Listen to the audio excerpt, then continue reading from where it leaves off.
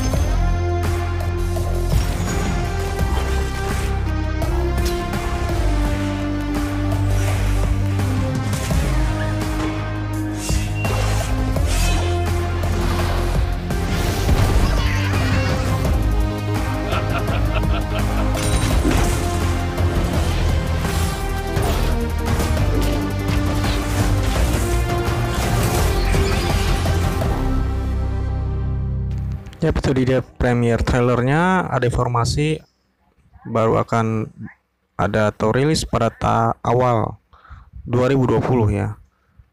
Ini gamenya keren banget.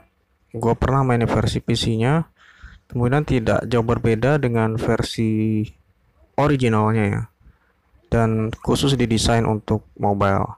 Nah, itu tadi informasi mengenai game League of Legends yang pastinya banyak player di seluruh yang menunggu game ini.